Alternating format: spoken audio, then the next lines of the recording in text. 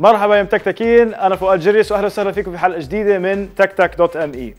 فزي ما تعودتوا رح نجيب لكم أخبار جديدة بمجال التكنولوجيا من حول العالم ومن العالم العربي كمان. إذا حابين تتابعونا تقدروا تزوروا الموقع اللي هو www.techtech.me أو على الفيسبوك اللي هو facebook.com/techtechme أو على تويتر طبعا اللي هو @techtechme خليكم معنا معنا أخبار كثير حلوة هذا الأسبوع. شوفوا شوفوا مع بعض.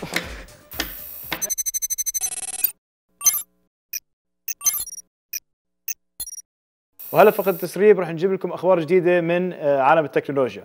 شايفين العصفور هذا اللي وراي؟ هذا أغلى عصفور في العالم. انعرض عليه هذا العصفور يشتروه شركة آه، Zynga اللي بنعرفها اللي بتطور ألعاب زي FarmVille و Words With Friends اللي بنلعبها مع فيسبوك عرضوا عليه إنه يشتروه ب 2.4 مليار دولار. شركة Rovio اللي هي بتطور لعبة Angry Birds اللي كنا بنعرفها على الآيفون وعلى ال iOS. devices آه، عرضت إنها تشتري آه، شركة Rovio اللي هي بتعمل Angry Birds 2 وربع مليار بس Rovio رفضت رفضت هذا ال deal وهي بتحس إنه هي آه، قيمتها كثير أعلى من هيك. فخلينا نشوف شو بده يصير. الخبر الثاني اللي عنا إياه اليوم هو عن تويتر. اكتشفوا بعد دراسة إنه اللغة العربية هي أكثر لغة عم تنمو على تويتر وعم تكبر. في خلال الشهرين الماضيين 2000% نمو ال tweets اللي عم تطلع بالعربي على تويتر.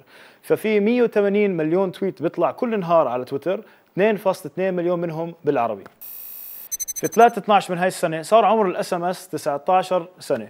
قبل 19 سنة يعني في 3 12 في 92 انبعت أول SMS من هاتف خلوي في بريطانيا لهاتف خلوي ثاني آه كانت الرسالة Merry Christmas فالسوق تاع ال SMS في نمو يعني يتصاعد ما زال يتصاعد وخلال الخمس سنين الجايين راح يكون 782 مليار دولار آه مدخول الشركات العالمية من من ال SMS بس. الأسبوع هذا Google MENA ضافت feature جديدة على ال iPhone app وال Android app تاعها.